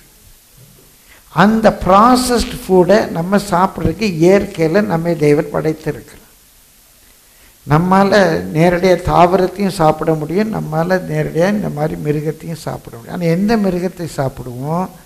சைவம் சாப்பிடுகிற மிருகத்தை தான் சாப்பிடுவோம். ஏனென்றால் இந்த புல் பூண்டில் இருக்கிற இந்த சத்தெல்லாம் அங்கே ப்ராசஸ் ஆகிருக்கு ஆனால் இந்த மிருகத்தை சாப்பிடுகிற மிருகத்தை யாரும் சாப்பிட மாட்டாங்க. ஆடை சாப்பிடுவாங்க ஆட்டை சாப்பிட்ற புளியை சாப்பிட மாட்டாங்க. புலிக்கறி சத்துன்னு யாரும் சொல்ல மாட்டாங்க. ஏனென்றால் இது ப்ராசஸ்ட் ஃபுட்டை தான் அது சாப்பிடுது அதில் சத்து குறைஞ்சு போயிடுது. இந்த ஆட்டை திங்கிற மனுஷனை திங்கணும்னு யாரும் சொல்ல மாட்டாங்க. ஆனால் புல்லை திங்கிற ஆட்டை புல்லை திங்கிற மாட்டை புல்லை திங்கிற யானையை கூட சாப்பிடுகிறார். பிரியமானவர்களே இந்த கூடுதலாக இதற்குள்ளாக நான் போக விரும்பலை. ஏன் இந்த மிருகங்களை நம்ம சாப்பிட்றோம் என்றால் நம்ம சாப்பிட்றதெல்லாம் ஏற்கனவே இந்த புல் பூண்டுகள் அதற்குள்ளாக போய் ப்ராசஸ் ஆகி நமக்கு பாலாக நமக்கு பிரதான சத்தாக நமக்கு தேவையான கொழுப்பாக பல மினரலாக நமக்கு கிடைக்கிறது. நான் வெறும் புல்லையும் சாப்பிடலாம். புல்லை சாப்பிட்டு அது நமக்குள்ளே ப்ராசஸ் ஆகிறதை விட அது ப்ராசஸ் ஆன பேரில் நம்ம சாப்பிட்றோம். அதே போல் நீங்கள் ஆலோசனை சொல்லும்போது நீங்கள் உங்கள் ரத்தத்தை மற்றவங்களுக்கு கொடுக்கணும். நீங்கள் எடுத்துக்கொண்ட அந்த தேனை மற்றவர்களுக்கு அந்த நெ மதுரத்தை மற்றவர்களுக்கு கொடுக்கணும். அந்த தேனி பல பூவில் உட்காந்து உட்காந்து உட்காந்து கொஞ்சம் கொஞ்சமாக கொஞ்சம் கொஞ்சமாக அந்த தேனை உரிந்து அந்த தே அந்த மதுரத்தை உரிந்து அந்த நெக்டாரை தன்மயமாக்கி நமக்கு சுவையான தேனாய் தருவது போல். நீங்கள் வசனத்தை வாசிக்கணும். வசனத்தின் மேலே வசனத்தை வாசிக்கணும் தியானிக்கணும் நிறைய வசனங்களை எடுக்கணும். அது உங்களுடைய சரீரமாக உங்களுடைய இரத்தமாக மாறணும். பிரியமானவர்களை நீங்கள் பாலை கொடுக்கல என்று சொன்னால் இரத்தத்தை கொடுக்கிறீர்கள். பல இடத்துல புல் மேய்ந்தது. புல் மேய்ந்து தான் அந்த பால் வந்தது. நீங்கள் வசனத்தில் மேயணும். உங்களுக்கு அந்த வசனத்தை உள்ளதாக மாற்ற வேண்டும். பிரியமல்ல பாலும் தேனும் புல் அல்ல பாலும் தேனும் பதப்படுத்தப்பட்ட சத்து ஊட்டப்பொருள் பதப்படுத்தப்பட்ட ஊட்டப்பொருள் ஒரு காலத்தில் ஒரு மிருகத்துக்கு தன்மயமான ஊட்ட பிரியமல் ரெண்டுமே அசைவம் கிடையாது. சைவம் கிடையாது. ரெண்டுமே மிருகத்திலிருந்து வருகிறது. பாலும் மிருகத்திலிருந்து வருகிறது தேனும் மிருகத்திலிருந்து வருகிறது. கத்துடைய பரிசுத்த நாமத்துக்கு மகிமை உண்டாவதாக. இந்த பாலும் தேனும் அந்த மிருகங்கள் அவைகளை உட்கொண்டு அவைகளை அசிமிலேட் பண்ணி அவைகளை தன்மயமாக்கி அதற்கு பிறகு தேனாக பாலாக கொடுப்பது போல எவ்வளவு வசனங்களை மேய முடியுமோ மேய்ந்து எவ்வளவு பூவிலிருந்து அந்த மதுரம் எடுக்க முடியுமோ அந்த மதுரத்தை எடுத்து அதை உங்களுடையதாக மாற்றி தன்மயமாக்கி அதை நீங்கள் மற்றவர்களுக்கு வழங்க வேண்டும். கர்த்தருடைய ஆவியானவங்களோடு கூட பேசியிருக்கிறார் பிரியமில்லை உங்கள் வாயிலிருந்து புறப்படுகிற வார்த்தைகள் மற்றவர்களை பலப்படுத்த வேண்டும். உங்களுடைய வாயிலிருந்து புறப்படுகிற வார்த்தைகள் மற்றவர்களை குணமாக்க வேண்டும். உங்களுடைய வாயிலிருந்து புறப்படுகிற வார்த்தைகள் மற்றவர்களுக்கு நன்மை தரக்கூடிய சுவையாக இருக்க வேண்டும். உங்களுடைய வாயிலிருந்து புறப்படுகிற வார்த்தைகள் எல்லாருக்கும் எல்லா காலத்திலையும் பயன்பெறக்கூடியதாக இது இவன் திருந்த மாட்டான் அவன் திருந்த மாட்டான் என்றல்ல. இனிய வார்த்தைகள் எலும்பையும் நொறுக்கும். இனிய வார்த்தைகள் எலும்பையும் நொறுக்கும். நல்ல இனிய வார்த்தைகளால் எல்லாருக்கும் பயன் தரக்கூடிய வார்த்தைகளை பேசுங்கள். எல்லாவற்றுக்கும் மேலாக. நீங்கள் தன் உங்களுக்கு தன்மயமாக்கின நீங்கள் பல பூக்கள் இருந்து பல வசனத்திலிருந்து சேகரித்து கொண்ட தெய்வ ஆலோசனை. உங்களுடைய அனுபவம். நீங்கள் தன்மயமாக்கின வார்த்தைகள் உங்களுடைய ஜீவனாக இரத்தமாக மாறின வார்த்தைகள் அதை பாலாக மற்றவர்களுக்கு கொடுங்க. அதை தேனாக மற்றவர்களுக்கு கொடுங்க. பிரியமானவர்களை வெறும் வார்த்தைகள் அல்ல தன்மயமான வார்த்தைகள். பதனிடப்பட்ட வார்த்தைகள் உங்களுக்குள்ள ப்ராசஸான வார்த்தைகள் உங்களுக்குள்ள ஜீரணமான வார்த்தை அந்த வார்த்தைகளை நீங்கள் மற்றவர்களுக்கு கொடுங்கள். அது அவர்களுக்கு ஆசீர்வாதமாக இருக்கு நம்ம எல்லாரும் ஜெபம் ஆண்டவரே என்னுடைய நாவு மணவாட்டி நாவு போல மாறட்டும். என்னுடைய நாவு மணவாட்டி நாவு போல மாறட்டும். கத்திரத்தில் ஒப்பு கொடுத்து ஜெபிங்க. கத்துடைய கிருபையை கேளுங்க. கருத்து கிருபை முறையிலே பெருக பண்ணும்படியாக எல்லாரும் கத்துடைய முகத்தை நோக்கி பாருங்கள் அலை லூயா ப்ரைஸ்யூலா ப்ரைஸ்யூலா கண்டிப்பாக கத்துடைய கத்துடைய பெரிதான கிருபையினால நம்முடைய நாவு பயனுள்ள நாவாக இருக்கும்படி பாஸ்டர்மா நமக்காக ஜெபம் பண்ணுவார். நீங்கள் யார் யார் சின்சியராக இருக்கீங்களோ அன்றைய இன்றிலிருந்து என்னுடைய நாவு அநேகருக்கு ஒரு ஆசீர்வாதமான நாவாக இருக்க வேண்டும் என்று ஒப்பு கொடுத்து ஜெபியுங்க. கத்தர் கண்டிப்பாக பெரிய காரியங்களை ஆராய்ந்து முடியாத அதிசயங்களை நடப்பிப்பார். கூடுமானால் ஒரு விசை கத்தருடைய சமூகத்தில் நம்ம எல்லோரும் எழும்பி நின்று நம்மை ஒப்பு கொடுப்போம் எல்லாரும் எழும்பி நின்று நம்மை ஒப்பு கொடுப்போம் ஹலோ லூயா ப்ரைஸ்லா ப்ரைஸ்லா நன்றி ஆண்டவர். கத்தருடைய முகத்தை நோக்கி பாருங்கள் என்னுடைய நாவு மற்றவர்களுக்கு பலம் தருகிற நாவாக மற்றவர்களை பலப்படுத்துகிற நாவாக இருக்கும். என்னுடைய நாவிலிருந்து புறப்படுகிற வார்த்தைகள் மற்றவர்களை சுகமாக்க வேண்டும். அவர் எப்படி என்னுடைய வார்த்தையை அனுப்பி அவர்களை குணமாக்கி அவர்களை அழிவுக்கு தப்புவிப்பேன் என்று சொல்லியிருக்கிறாரோ அதே போல் என்னுடைய நாவின் வார்த்தைகள் அவர்களை குணமாக்கி அவர்களை அழிவுக்கு தப்புவிக்க வேண்டும். என் வார்த்தைகளை கேட்குற யாரும் கெட்டு போகக்கூடாது.